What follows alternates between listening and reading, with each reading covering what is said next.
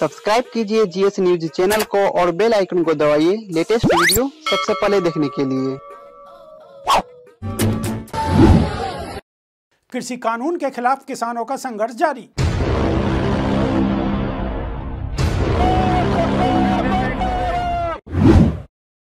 दिल्ली प्रवेश की जिद पर अड़े किसान।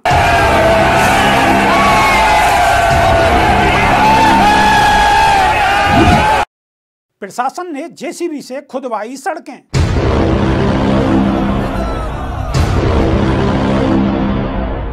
नमस्कार, स्वागत है आपका। मेरा नाम है विपिन चौधरी।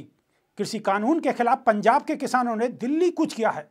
दिल्ली से पहले हरियाणा में किसानों को भारी संघर्ष का सामना करना पड़ा है। एक और किसान जहाँ दिल्ली प्रवेश की जिद पर अड़े हैं, वहीं दूसरी ओर प्रशासन उन्हें रोकने की हर संभव कोशिश कर रहा है। इन सब के बीच हरियाणा के सभी प्रमुख मार्गों पर भारी जाम की स्थिति है। हरियाणा के फतेहाबाद के टोहरा में किसानों को रोकने के लिए प्रशासन ने जेसीबी से रोड पर गहरे गड्ढे करवा दिए हैं।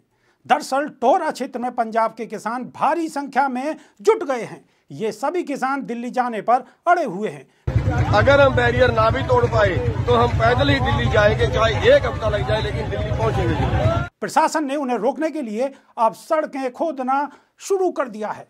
फतेहाबाद में भारी पुलिस पंजाब सीमा पर तैनात है। किसी को आने जाने की अनुमति नहीं है। गुजरात राजस्थान अन्य राज्यों से पंजाब के जीरकपुर और चंडीगढ़ जाने वाली करीब 200 गाड़ियाँ टोहरा में फंस गई हैं।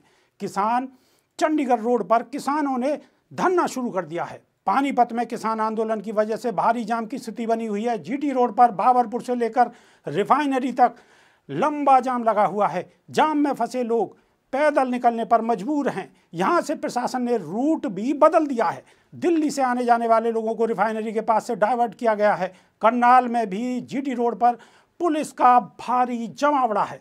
सड़कों पर भी बड़ी संख्या में पुलिस वाले बैठे हैं। यहाँ पर भी जाम की स्थिति बनी हुई है। हज़ारों की संख्या में किसान ज़िले में जुटे हुए हैं। कर्ण लेक के पास सुरक्षा के भारी बंदोबस्त इंतज़ाम किए हुए हैं।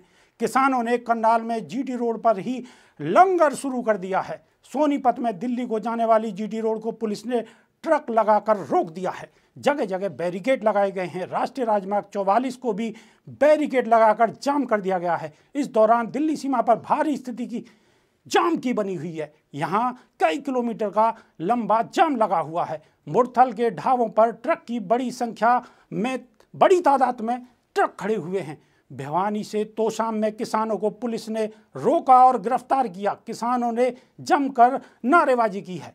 अभी के लिए सिर्फ़ इतना ही। बने रहिए हमारे साथ। सब्सक्राइब कीजिए जीएस न्यूज़ चैनल को और बेल आइकन को दबाइए लेटेस्ट वीडियो सबसे पहले देखने के लिए।